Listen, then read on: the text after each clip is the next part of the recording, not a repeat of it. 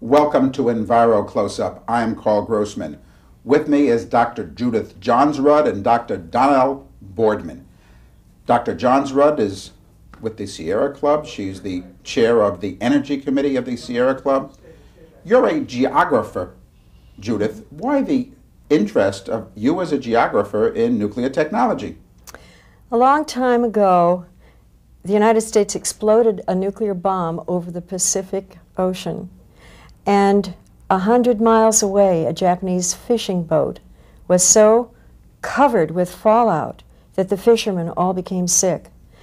At that time, the nuclear industry talked about sunshine units when they meant ionizing radiation. And it occurred to me as a geographer that there is a, a, a geographic uh, totality to the production and the use of nuclear energy, whether it's for bombs or for electricity or any of our other purposes. And that the, the pathways of radiation in the environment affecting human beings and that entire system of production was a fertile ground for geographic investigation. And I've spent 25 years at it. And Dr. Boardman, you are the director of the Center for Atomic Radiation Studies. Kind of unusual for a doctor to commit so many years to uh, something beyond the practice of medicine, I suppose. yes, it really is, and it, perhaps it's uh, a matter of time. Uh, it, the question of uh, the human effects of ionizing radiation became a, a major issue about the time that I became 65 in 1978. And so uh, I was already uh, to retire from active practice and from uh, the pressures of my colleagues and was a free agent. My first concern with uh, radiation was back, went back to 1946 when uh, we learned of the bombing of Hiroshima at a time when our, my wife and my twins were uh, expected or recently delivered, and we had a Japanese nurse. My wife turned to her and said, Mrs. Sakurai, aren't you from Hiroshima? And she said, yes.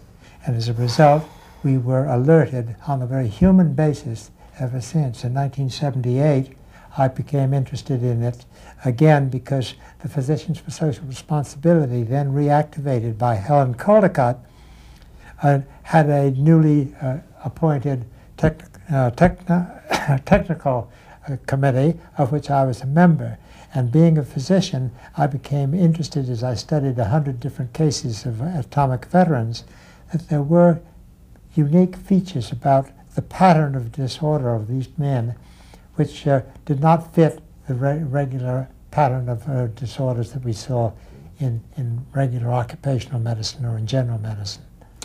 You've done an awful lot of research, and in recent years you've been putting together your research in a book. I've been spent the better part of 10, 12 years uh, writing and rewriting and revising and expanding the book. It started out with 30 pages and a handful of ref references in 1984, and now it's uh, uh 207 pages with 250 peer-reviewed references uh, in the, of the scientific literature. Uh, most of what I've put together is the collection and the association of ideas of people who are far more experienced than I about the nuclear or the uh, uh even the molecular uh, dynamics.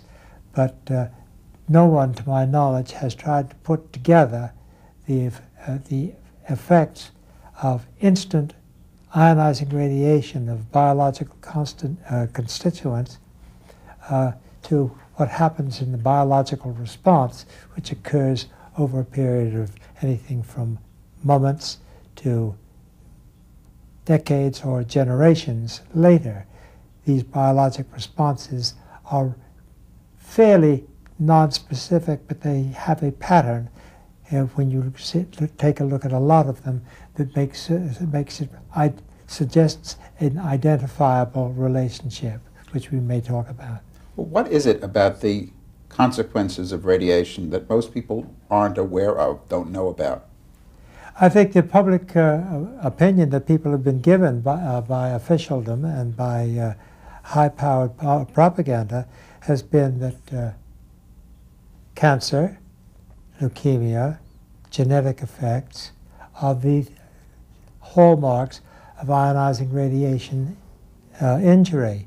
The fact is that ionizing radiation can affect any biologic constituent, and the evidence in the, in the current scientific literature is very clear that every aspect of uh, the biologic makeup of the total is, uh, is vulnerable to ionizing radiation. What has been studied and reported upon has been epidemiologic studies of patterns that, uh, that those who wish to propagandize or to, uh, to uh, inform the public are interested in presenting because most of it will not most of it will not manifest itself for a period of 10 years or more after the fact.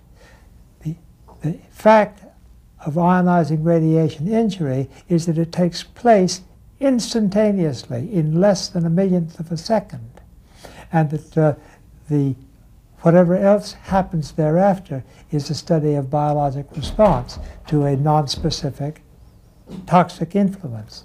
But radiation, because it has no respect to biologic uh, org- organization or structure,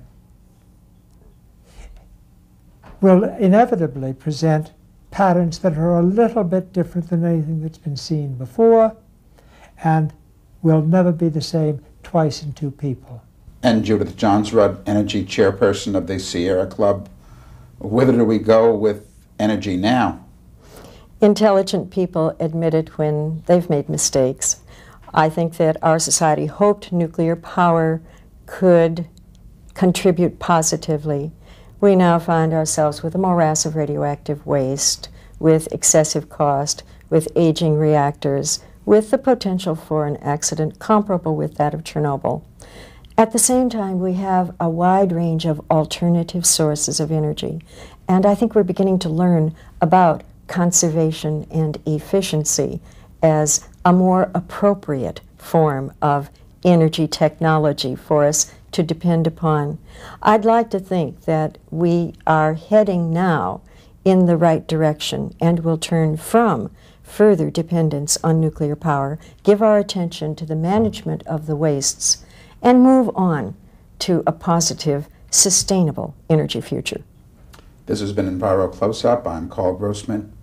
Thank you for watching.